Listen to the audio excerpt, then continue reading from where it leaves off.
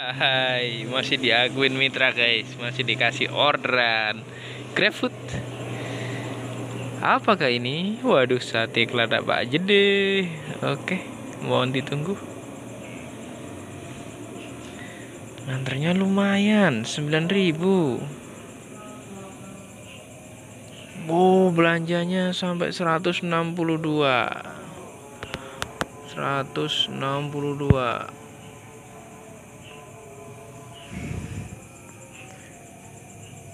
habis makan tadi saya hidupin.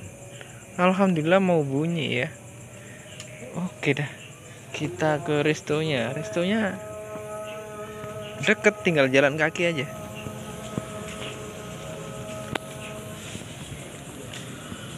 Saya kelas dulu. Oke kalian bisa lihat langsung di layar ya. Sudah saya pick up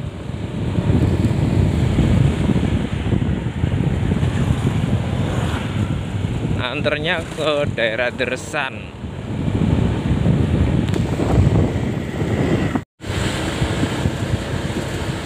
Dan di video kali ini saya mau ngebahas ini guys. Mungkin teman-teman yang di Jogja Grab ya terutama Grab itu kenal sama bapak-bapak yang pakai Mio J. Warna putih biru rumahnya Pak Pringan saya saya nggak nyebut nama ya. Pokoknya inisialnya itu. Jadi saya kemarin ketemu orangnya pas lagi jalan-jalan. Saya tanyain pak nggak ngegrab lagi?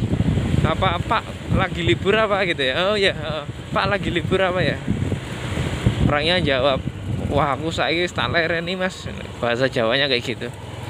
Jadi saya udah nggak narik lagi mas itu istilah eh bahasa Indonesia nya kenapa pak jadi sebelumnya itu dia libur dua minggu off. Setelah libur dua minggu dia on seperti biasa atau ya lihat map grabnya guys. Keren banget. Sekarang grab ada mapnya itu jalan itu loh. Makin keren aja dia. Kalau nggak ada orderannya nggak keren kayaknya di sini guys. Saya disuruh naik tadi. Saya cek dulu pesannya. Kos apa tadi ya bilangnya? Pak nonton naik aja ke kamar 109 ya ditaruh di rak saya apa? Kos homestay Sari Panguripan. Homestay Sari Panguripan. Iki boh ya sih sih sih tak cari dulu. Ini guys kulinya naik nih. Tahu lantai berapa 109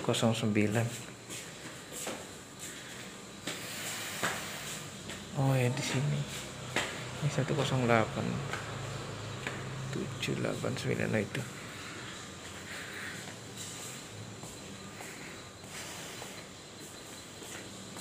Ditaruh di rak dirak di foto.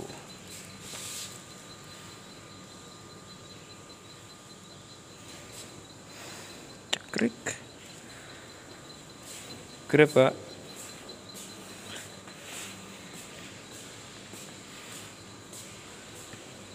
Terima kasih gitu ya.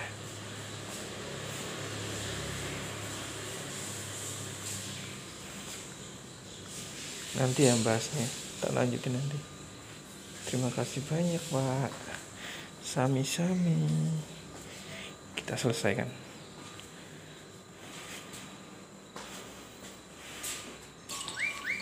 Sembilan ribu. Gantinya beli kilok tadi siang. Sembilan ribu.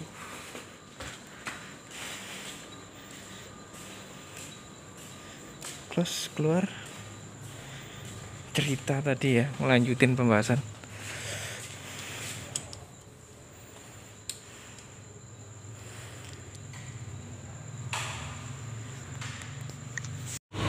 Nah tadi kan cerita kalau habis libur lama selama dua minggu.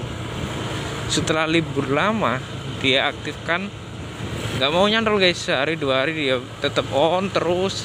Dikirain ya orderannya sepi lah ya. Udah satu minggu tetap nggak nyantol guys. Alhasil dia marah tuh. Dia tuh sampai ke kantor ya. Kantor Grab dia ke kantor Grab tanya ke customer service-nya apakah akunnya itu bermasalah apa enggak? Kayak gitu. Ternyata dari customer service bilangnya nggak ada apa-apa normal-normal aja. Alhasil dia kecewa guys. Di onin tetap di onin kan habis dari kantor tetap nggak pecah guys dia padahal udah tanya ini ketutup server apa gimana atau gimana? Padahal sebelumnya gacornya minta ampun. Kalian yang kenal mungkin bisa cerita bisa komen nanti di bawah. Beneran gacor. Aku dulu pernah ngetem bareng itu dia nyantol duluan terus. Itu tiba-tiba bapuk kayak gitu ya. Padahal dulunya luar biasa. Gacor alhasil dia marah sampai sekarang udah nggak mau narik lagi. Nggak tahu kabar terakhir itu saya ketemu tuh satu minggu yang lalu ya. Udah nggak mau on lagi katanya. Udah nggak mau narik lagi. Memilih cari pekerjaan yang lain nggak tahu udah kerja apa. Tapi itu bener-bener real ya cerita. Saya nggak bohong jadi satu minggu artinya berarti tiga minggu nggak pecah ya?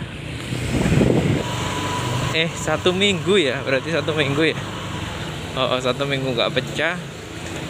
Jadi begitu ya. Kita bisa merasakan kita bisa tahu sulitnya. Apa namanya menebak sistem Grab ya.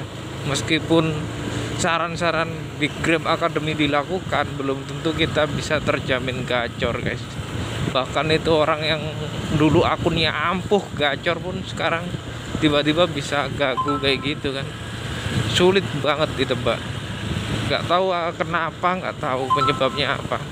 Padahal ini orang juga bapaknya ini cerita sama saya tuh kalau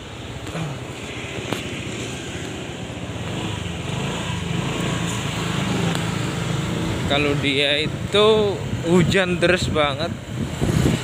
Hujannya itu lebat banget dia on bitin. Tetep aja nggak mau nyantol tetep aja nggak mau nyantol. Seriusan. Bilang kayak gitu bapaknya ke aku. Tetep aja nggak mau nyantol meskipun hujan deras. Padahal di tanya ke temennya itu orderannya sedang maut guys. Maut itu saking banyaknya orderan gitu. Penyebutannya jauh-jauh kayak gitu. Tapi punya dia tetap nggak pecah tetap nggak bunyi. Kan luar biasa. ya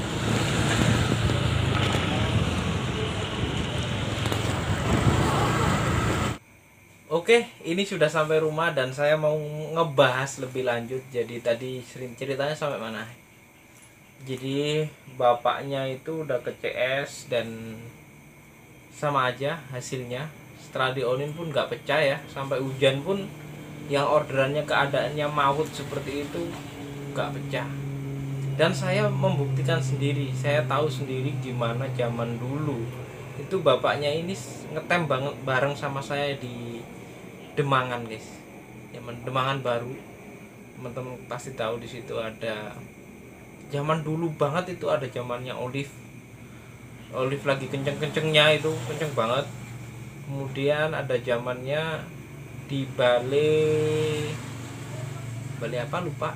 Bale nyonya apa apa? Lupa. Pokoknya di situ ada resto kenceng banget. Habis itu ada lagi Hakata zamannya covid. Hakata itu kenceng banget juga pas dulu apa namanya pada ditutup di mall-mall kan pada namanya pindah di resto itu itu kenceng banget bapaknya ngeri dapat orderannya itu teman-teman belum dapat dia udah dapat lagi pengantaran dia balik lagi udah nyantol lagi. Kenceng banget. Saya lihat sendiri gitu. Tapi ternyata kemudian setelah off dua minggu ya dua minggu doang ya itu sampai bisa nggak dikasih orderan selama satu minggu? Alhasil bapaknya udah nggak mau on bid grab lagi. Tolong ya grab tolong diperbaiki sistemnya ini gimana? Saya nggak tahu kenapa apa penyebabnya gitu. Kal uh, gimana ya? Kasih kisi-kisi yang jelas gitu kepada driver gimana caranya biar driver mau gacor kayak seperti apa. Kemudian uh, jika ada kasus seperti itu anyep yang seperti itu itu ya kasih penjelasan yang jelas gitu loh. Kadang emang uh, customer service bahkan sana itu nggak nggak tahu apa-apa cuman nggak ada apa-apa normal aja gitu kan. Tapi seakan apa namanya dari pusatnya sistem itu memang bener-bener nggak baca gitu kalau kita tuh on beat gitu. Kayak dalam jangka waktu tertentu akun kita tuh bener-bener nggak dianggap gitu loh. Kalian pernah ngerasain nggak? Saya juga pernah ngerasain kayak gitu pas jalan grab. Jadi beberapa kadang cuma dibatasin. Sehari dalam satu minggu tuh cuma dapatnya itu sekitar 8 sampai 10 kayak gitu. Kok susah banget kenapa gitu? Tapi nanti di bulan berikutnya ternyata dikasih kenceng. Kenceng terus. Kan kita habis itu terobati tuh rasa kecewa terhadap Grab yang di minggu yang lalu. Terobati di bulan yang sekarang jadi kenceng kayak gitu kan. Hmm, orderannya kenceng. Misalnya dulunya eh, 8 dari 8 sampai 10 sekarang bisa 20 sampai 25 gitu ya. Kenceng banget. Wah gitu. Seneng banget ini. Wah akunku bagus ini. Ternyata besok besoknya tiba-tiba bluk balik lagi guys. Turun lagi. Kayak dipermainkan gitu. Psikologisnya driver. Nggak tahu gimana saya saya nggak bisa memecahkan secara spesifik yang jelas akun-akun dewa yang oke okay banget. Di Grab itu mereka kerjanya berani perih ya. Dari perap sering banget saya bilang di konten saya. Dari pagi sampai malam hari tiap hari kayak gitu nanti bakal tetap bisa gacor tapi ya itu. Ada masa-masa dalam satu bulan itu tiba-tiba di minggu keberapa itu bakal ada susah gitu ada anyep kayak gitu. Ya teman-teman ada yang bilang itu rollingan ada yang bilang itu pemerataan dan lain sebagainya. Saya nggak tahu tapi yang jelas di lapangannya seperti itu grab grab grab grab grab grab. Saya nggak bisa nggak tahu lah pokoknya saya juga mewakili teman-teman gimana bisa terpublikasikan bahwa sistem Grab itu seperti ini. Driver itu bener-bener nggak kemudian sejahtera nggak kemudian mudah mencari uang gitu loh. Jadi driver itu susah gitu. Jadi saya itu bertujuan untuk mempublikasikan menjelaskan kepada semua orang semua halayak tidak hanya driver tapi kalau bisa semua orang baik customer maupun semua orang itu tahu oh ternyata ojol itu beda-beda. Grab sama gojek ternyata beda sama maxim beda. Ada sistem yang mengatur ternyata beda pembagian orderannya gitu loh. Jadi mereka tuh nggak semena-mena oh gue grab itu penghasilannya banyak nggak usah dikasihani nggak kayak gitu kan guys ya. Jadi saya bener-bener mempublikasikan secara terbuka melalui akun YouTube ini gimana biar orang tuh paham gitu. Maksud saya mungkin barangkali kalau saya yang punya akun bapaknya itu saya yang menjadi bapaknya itu mungkin barangkali saya bakal tetap on beat. Dalam satu minggu tetap saya on beatin terus kayak gitu. Lama-lama nanti saya yakin tetap bisa nyantol meskipun nggak tahu harus menunggu berapa minggu. Bisa kemudian balik lagi bakal bisa. Cuman nggak nggak bisa dipastikan kapannya gitu. Mungkin bisa dua minggu tiga minggu ada ada kenaikan bisa nyantol. Tapi mungkin karena bapaknya sakit hati banget ya. Jadi kalau orang kalau udah biasa dimanja maksudnya dikasih kenceng sama sistem ses sekali dia gabluk dia pasti sering-seringnya langsung ngambek. Saya punya banyak juga temen kayak gitu. Jadi sehari bisa 25 25 25 30 kemudian bluk sehari nggak bunyi dia langsung pulang nggak. Ditunggu satu jam nggak bunyi langsung pulang. Udah nggak mau nerusin. Itu ciri-ciri orang yang kemudian apa ya iya ya habis dikasih enak kemudian ngerasain perih itu nggak mau. Dan ada lagi beda-beda ya driver ada yang yang pantang menyerah. Dapat berapapun tetap on beat tetap muter-muter tetap ngetem meskipun sambil ngerintih gitu ya hatinya ya tapi tetap diusahakan gimana pun karena memang satu-satunya penghasilan untuk itu gitu ya. Dan memang kalau yang apa yang kecewa kemudian nggak mau on beat lagi mungkin barangkali dia punya penghasilan lain ada pendapatan lain lah ya. Bisa kita maklumi gitu loh mungkin seperti itu ya dari saya ya konten kali ini. Uh, semoga kalian bisa mengambil manfaat dari cerita saya cerita bapak ini yang akunnya satu minggu tidak pecah itu ya. Jadi kalian bisa mengambil manfaatnya kalian bisa mengusahakan gimana akun kalian tetap gacor dengan trik-trik tertentu dan lain sebagainya. Dan bisa lebih legowo bahasa Jawanya legowo ya. Bisa lebih nerima dengan keadaan sistem yang ada. Jadi nggak kecewa oh ya udahlah emang sistemnya kayak gitu gimana lagi? Ya kalau mau cari yang lebih ya aku harus kreatif harus mencari sesuatu yang baru atau mungkin kalau mau overtime nggak apa-apa. Misalnya saya target overtime dulu nggak apa-apa sakit-sakit dulu mengejar sampai 300 trip dulu yang tercatat di riwayat yang apa namanya elite plus itu misalnya udah 300 nanti saya bakal ngumpulin uang nyisain uang buat yang lain.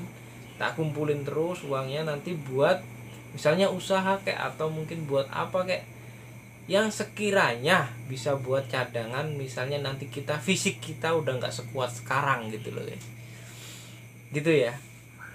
Semangat teman-teman. Saya mengerti keadaan kalian bagaimana di jalan. Ada yang cerita meskipun dapat banyak ada yang cerita susah banget. Saya ini saya juga baru tahu ya. Ada yang komen Bogor dari Bogor ya. Di Bogor itu cari satu minggu satu juta itu udah susah banget. Cum cuman satu juta satu minggu cuman satu juta. Mungkin itu hal kecil maksudnya jumlah yang kecil ya kalau di sana ya. Karena eh, tarifnya lebih tinggi seharusnya kan tapi ternyata susah banget ya di sana ya. Saya baru tahu siapa lupa namanya. Mau saya lihat tapi HP-nya saya pakai ngerekam nggak usah ya. Pokoknya nanti saya tampilin di sini. Lah itu ternyata seperti itu ya guys. Di mana mana loh bahkan di Bogor loh lokasi yang termasuk Jabodetabek gitu kan ya. Ternyata mungkin barangkali drivernya rekrutnya rekrutmennya terlalu banyak juga gitu jadi pembagian orderannya itu